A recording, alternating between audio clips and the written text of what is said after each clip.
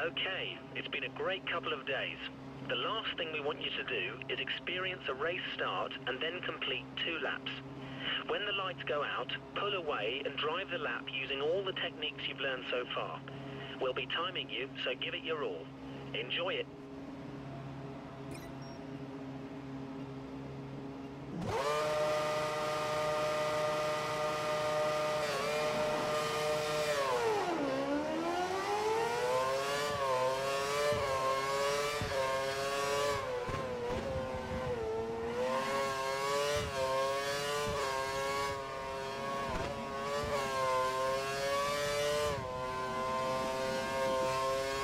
Yeah.